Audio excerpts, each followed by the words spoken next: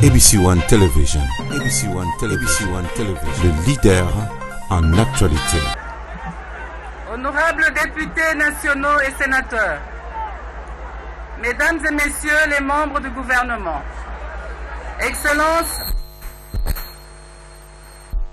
du genre enfants et famille, Mesdames et Messieurs les membres du cabinet du chef de l'État, Mesdames et Messieurs les ambassadeurs et chefs de missions diplomatiques, Mesdames et Messieurs les représentants des organismes du système des Nations Unies, Monsieur le gouverneur de la ville province de Kinshasa, distingués invités en vos qualités et titres respectifs, tout protocole réservé, observé, Mesdames et Messieurs, je vous salue d'un amour profond et vous transmets également les salutations de mon tendre époux, notre Père de la Nation.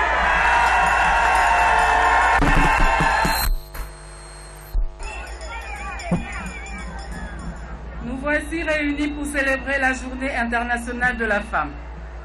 En ce jour où le monde entier célèbre la 162e Journée internationale de la femme, nos premières pensées vont vers les femmes victimes des violences sous toutes ses formes en République démocratique du Congo.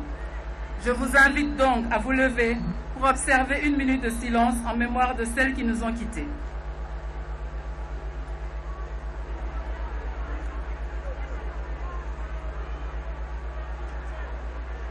Je vous remercie.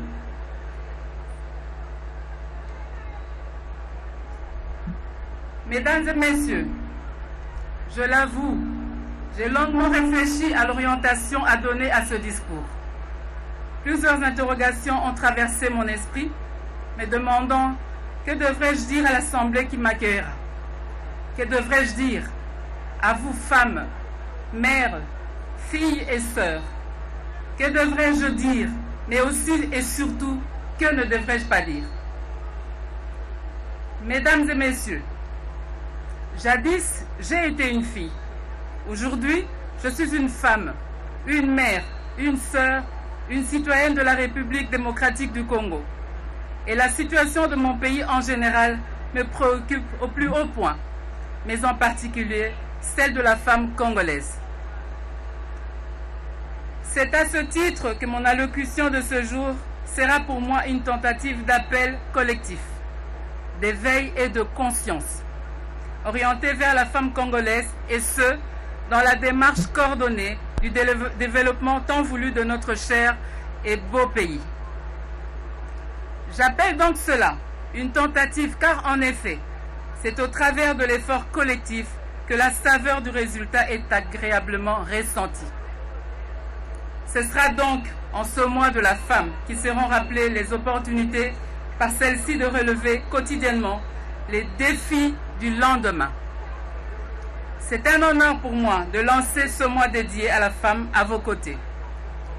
Il ne s'agit pas d'un privilège dont nous devrons nous réjouir pour nous qui sommes ici, mais plutôt d'une responsabilité envers ces nombreuses, femmes qui en ces instants même traversent des moments pénibles.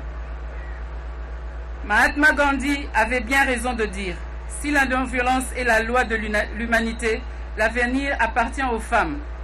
Qui peut faire appel au cœur des hommes avec plus d'efficacité que la femme?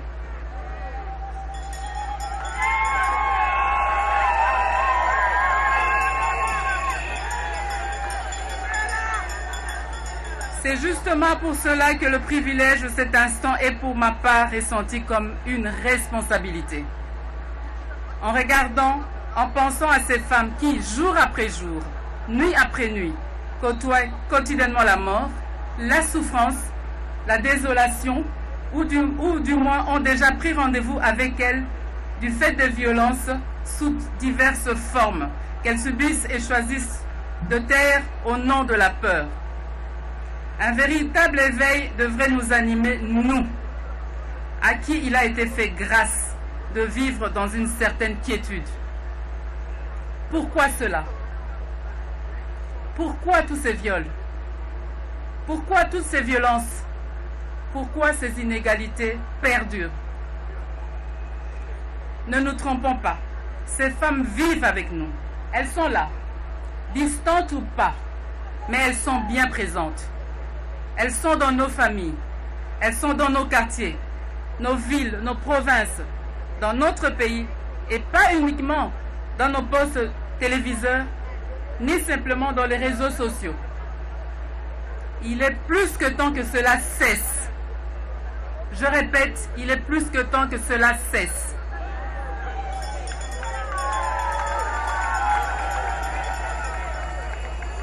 Mesdames et messieurs, distingués invités en vos qualités et titres respectifs, la reconnaissance officielle de la journée du 8 mars ainsi que les différentes dispositions légales ont été prises à ce jour dans notre pays sont un grand pas en avant dans la bonne direction, mais pas une finalité. Il est dit de textes, aussi clairs et complets soient-ils, qu'ils n'ont de valeur que lorsqu'on les applique tels qu'il se doit. Le droit reconnu à la femme, tant au niveau national qu'international, ne seront valables que si la femme elle-même en prend réellement conscience. Il nous incombe donc la responsabilité d'accomplir valablement non seulement le destin des différents législateurs, mais également et surtout de, euh, de notre Créateur. Soyons femmes telles que le Seigneur veut que nous le soyons.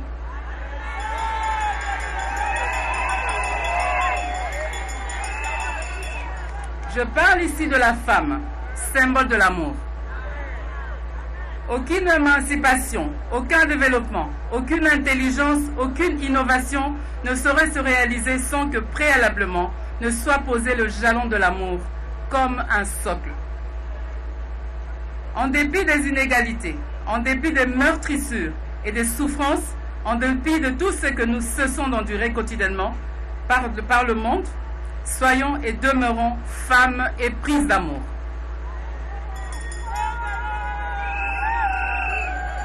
L'amour envers nos prochains, l'amour envers nos semblables, envers nos pères, nos frères et sœurs, nos époux, l'amour dans nos familles, mais aussi et surtout entre nous et envers nous.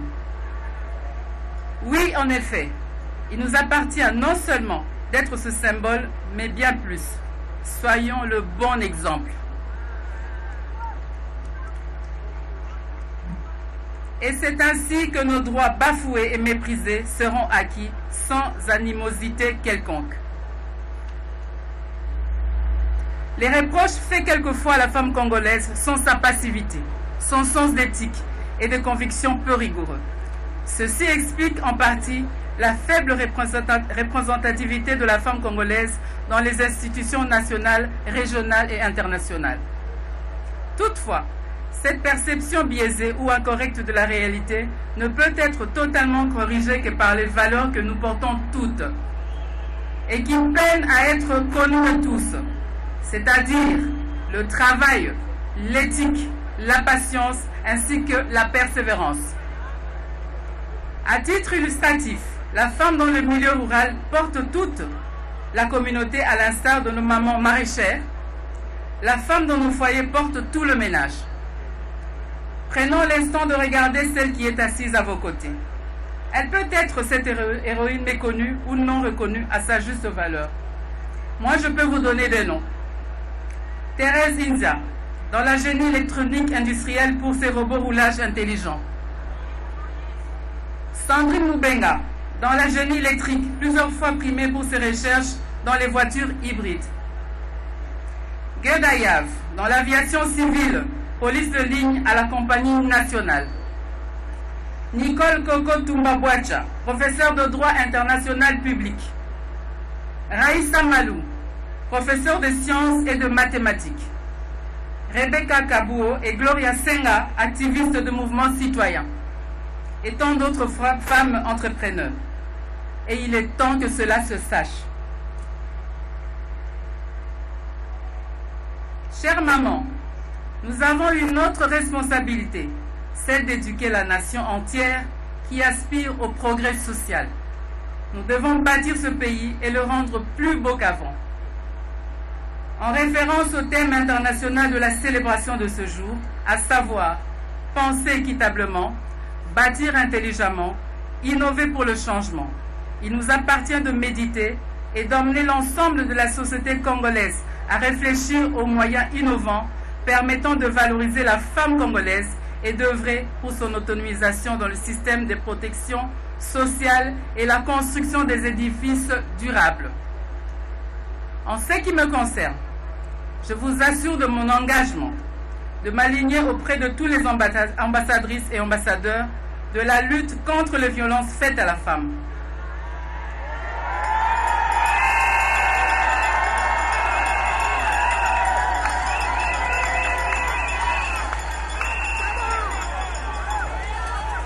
En ce qui me concerne, je vous assure de mon engagement de m'aligner auprès de tous les ambassadrices et ambassadeurs de la lutte contre les violences faites à la femme, particulièrement les violences sexuelles. Je m'attellerai personnellement à rendre cette lutte une réalité permanente au travers du soutien aux réformes innovatrices et courageuses. Je me propose d'être la voix de toutes celles qui pleurent en silence, non sans peine et douleur. Et je propose à chacune de nous, où qu'elle se trouve, de parler et de faire parler les violences dont elle serait victime. Oui, bannissons le tabou et parlons encore plus fort qu'avant, pour qu'aucune autre femme ne soit brisée par la violence sous toutes ses formes. Je serai toujours aux côtés des femmes et des filles afin de leur donner une opportunité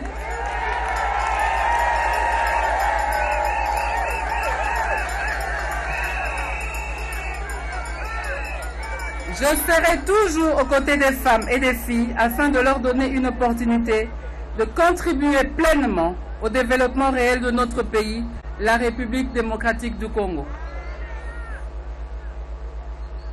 Pour finir mon propos de ce jour, en soutien au thème national de cette journée, j'aimerais insister sur ce qui suit. Si à un moment donné de ce discours, l'attention vous a été détournée, j'aimerais humblement que nous retenions ensemble ces quatre éléments. Amour, prise de conscience, travail, persévérance.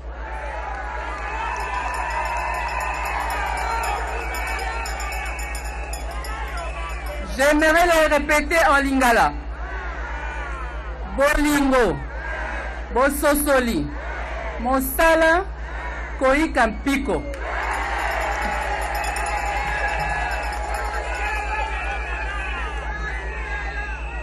Bamama mbote mbote lisusu. Na, ye awa lelo mpona ko euh, premier jour ya enfin le 8 mars journée de la femme euh, euh, internationale. Nasengi na biso nyonso. Mpo na mboka na biso ekende liboso tozala na bolingo. Mpo na bolingo nde tokolonga makambo nyonso.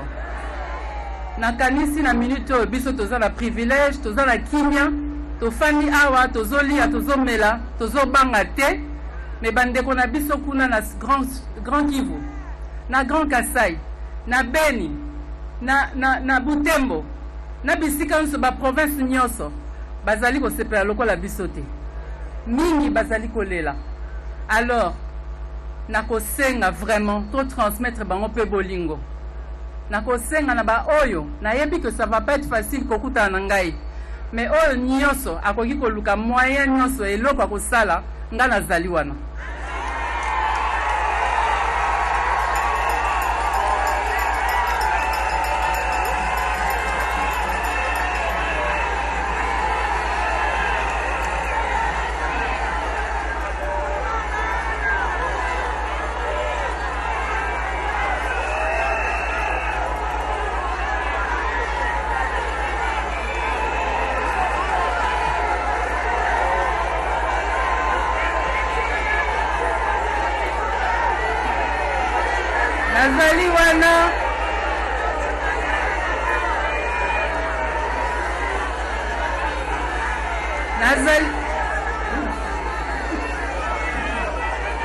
nazali wana mpo na komema mokumba ya kongo namema message na bino epai ya président.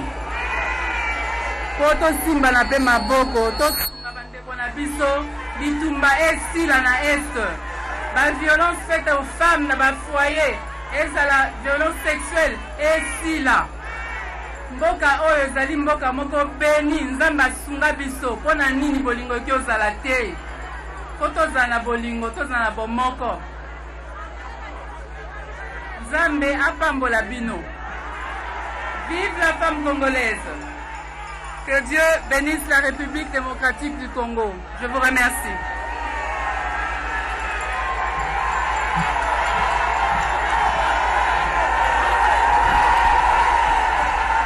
Euh, voilà, Christine Lenzo, on vient d'entendre pour euh, la première fois la première dame parler.